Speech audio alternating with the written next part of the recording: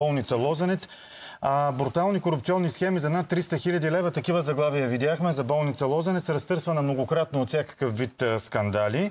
Наистина ли има сигнал от един от а, а, видните лекари там, доцент Хазър Басанов, за източване за фиктивни процедури по една скъпоплатена клинична пътека за 58 пациенти за 300 хиляди лева, които са отпуснати за неща, които не са се случили не са правени реално. И наистина ли ръководството на болницата в резултат на разгласяването на тези корупционни практики или практики на източване, му е вдигнал умерника, иска да го уволни и иска да го смени с свой човек. Правим тази тема в следващите минути. Е, да кажем как разбрахме за нея. Писаха ни лекари от отделението по кардиология, точно с този разказ, какво се е случило, какви са намеренията за отстраняване на доктор Хазър Басанов след разкритията, сигнала, който той е подал. Самия него ще видим след малко в пряко включване, а иначе в студиото е доктор Светлин Сталянов, който е заместник директор на болницата по медицинската част, така че той ще ни обясни проверките какво са Позицията показали и какви намерения да имат да, да освобождават или не а, доктора, който е подал сигнала. Добро утро, казвам Докторе, сега здравейте. на доктор Добри Хазър Васанов. Да видим първо дали се чуваме и виждаме добре. Здраве... Здравейте. Чуваме ви и е вече ви виждаме. Пред, пред транспортна болница, не е пред болница Лозенец. А, аз днеска ме изписват от болницата. Има ли сте здравословни а, проблеми? Е, дайте аз, да започнем, да започнем обаче от тук. Какво така, съдържаше? Това, по, по същество е така. Това, това писмо, което е изпратено от моите колеги до а, на здравеопазването и парламентарната комисия а, по здраве е, а, съдържа абсолютно всичко. Вие сте го чели, предполагам. И ако внимателно прочетете там, няма нищо какво да се добави. Кажете имаме, сигнала, имаме сигнала, който вие сте, така, сигнала, така, който вие сте така. подали за нарушения, така, за злоупотреби по същество, да, какво, сигнала за какво говорите? Ще, ще, така, така ще, ще ви кажа. Сигнала е за а, неправомерно отчитане на клинична пътека, с всичките атрибути, които трябва да има там. А, сигнала е подаден до а, Министерството на здравеопазване и а, Национална каса, здравно-осигурителна каса и след направената проверка потвърди, че тези нарушения са извършени. Нека, доктор, изслушайте ме. Моля ви да ме изслушате, за да обясним нещо, което иначе зрителя няма шанс да разбере. Говорим за 58 пациенти по една клинична пътека в отделението по съдова хирургия. Тази клинична пътека вътре разписва дадени процедури, които струват пари. Като се извършат, касата дава тези пари на болницата. Вие твърдите, че има написани неща, за които е платено от касата, но не са извършени на тези пациенти. Обяснете ни кои са тези неща, които не са извършени, а пари са взети. И тези пациенти с днешна дата 58 на брой, може ли да се установи с днешна дата дали нещо е правено или не е правено като разход и процедура? Така, документално се отчита следното нещо. А, когато има стеснение на някакъв кръвоносен съд, а, той се документира по съответния начин с а, ангиография или цветна снимка или скенер. Вижда се, че има някакво стеснение. А, прави се процедура, при която а, катетър, тръбичка се вкарва в тялото на пациента. Това е, се прави под рентгенов контрол и се записва на а, съответното устройство. През а, стеснението се прокарва а, балон или стент, отваря се стеснението и след това се документира какво е станало. Колко струва тази, тази процедура? Липсват. Колко струва а, тази процедура и ако са фиктивни тези 50, над 50 процедури, каква е щетата? Така, така, това всичко е дадено на а, съответните органи. Процедурата, касата е плаща някъде около а, 4500 лева или нещо такова. А, след като се отчете, това, това нещо се там след съответен период се плаща от А касата. това правено ли е или Сега, това, което тук, описахте, не е правено? така. Това правено ли е 58 Не е пъти или правено. не е правено? не, не е правено. Така, а, за да се документира това нещо, касата изисква по някакъв начин да е записано на а, CD, компакт диск или някакъв външен носител. Всички, които се предоставят при съответното а, поискване от, а, за одит или проверка. А, нещата, които са правени в този случай са фиктивни снимане на балон, т.е. на едно устройство, което е извън тялото на пациента. Това е основното във всички тия неща. Примерно един балон е сниман на сума, не вътре.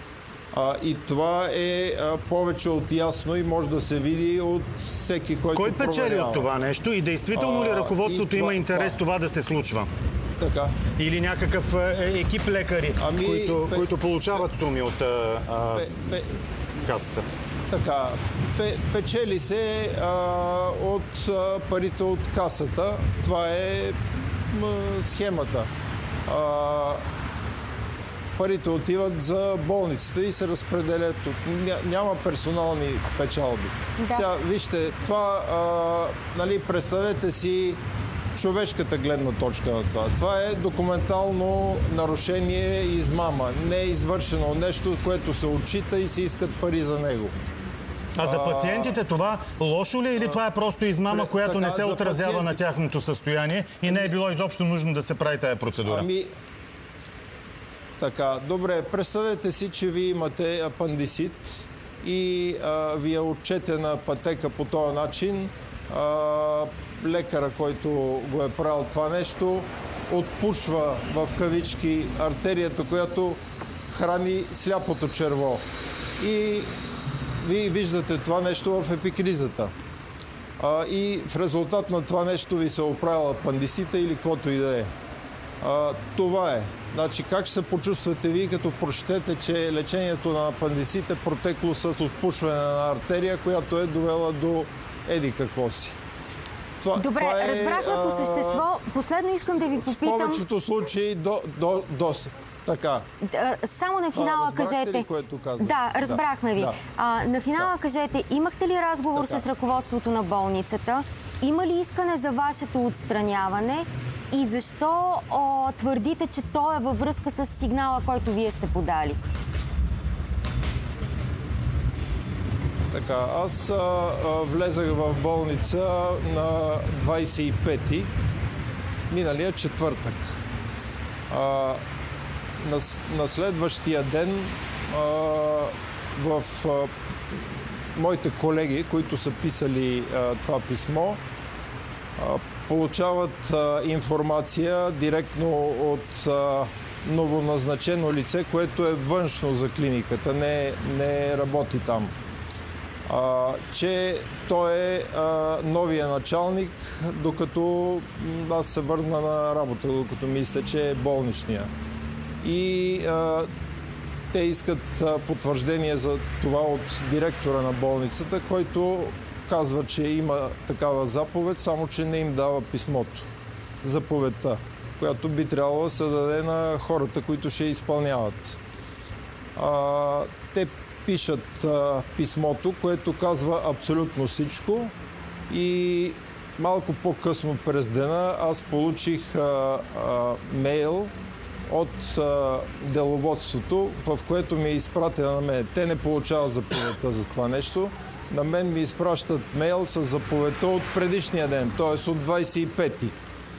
Сега не знам какви са им били намеренията, но това, което се случва в болницата последните а, седмица, може би и повече, а, са по- постоянни натяквания за какви ще са последствията за хората, които работят Тоест имало е заплахи за тези, които разгласяват се- случая и подават сигнали. Така, за, така запла, заплахите са към а, децата, които работят в клиниката. Това е моят екип. Заплашват ги, И че те са какво? го почувствали това доста болезнено. аз а, не съм се почувствал по никакъв начин заплашен от това, но тия хора, които работят там и които ги възпитаваме да правят добра медицина и да помагат на хората, са били подложени на този натиск. Докторе, разбрахме, моля ви, останете на линия още в малко и се извинявам, че Така. има закъснение в Така. а, звука дистанционно, затова Така, говорим едни върху други. Така. Сега искам да кажа и нещо друго. Благодаря много на тия хора, защото те са били под голям натиск и въпреки това са направили нещо, което е достойно за това, което ги учим а не да си траят и да са мижитурки. Това Да, са застават зад а, вас. много добри лекари. Така. Добре, благодарим Останете ви. на линия Сега, обаче. а, Останете студиото- на линия. В студиото доктор Светлин Стелянов, който е заместник директор на болницата по а, медицинската част. Първо кажете, а, доктор Стелянов, а, проверката, която е направена, какво показва? Има ли такива нарушения? А, и второ, а, ще го уволнява ли болницата доктор Хазар Басанов? Добро утро на вас и на зрителите Здравейте. на нова телевизия. Още в началото искам да кажа, че чисто човешки се чувствам малко неудобно, че при такива обстоятелства и със съдействието на медиите трябва да проведеме този диспут, най-общо да го кажем, защото явно нещата, след като са стигнали до тук, аз съм длъжен да го направя. Има ли нарушение? името на Това колегите, нарушение, за което говори които той. и сега осигуряват капацитета и качеството на 58 клиниката. случая с а, фиктивни, незаписани Отговарям. процедури по клинична пътека и откраднати пари. Има ли такова нещо? Директно отговарям. Проверката от здравната каса установява пропуски в пътеката, в изпълнение на пътеката, в попълване на документацията, но пропуски.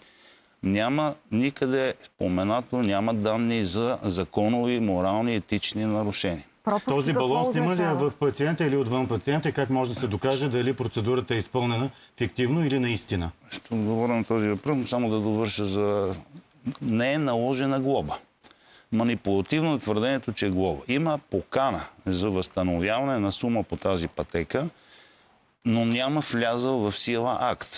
И болницата е взела съответните мерки да обжалва Сумата, която сумата трябва да каква е? Тя покрива ли всичките тези процедури, за които има съмнение, че са фиктивни? Сумата е порядъка на над 300 хиляди лева, но не покрива изцяло извършените процедури. В смисъл има процедури, по които е отчетено вярното отчитане. А как да сме сигурни, че след като не са спазени правилата за доказ... доказване за една процедура, Че тя се е изобщо е се е случила, а че а, в момента ви го наричате нарушение, но а, след като ги няма тези базови, той казва доктора, да се снима отвътре, да е, как да сме сигурни, че това е направено, а не е само на хартия.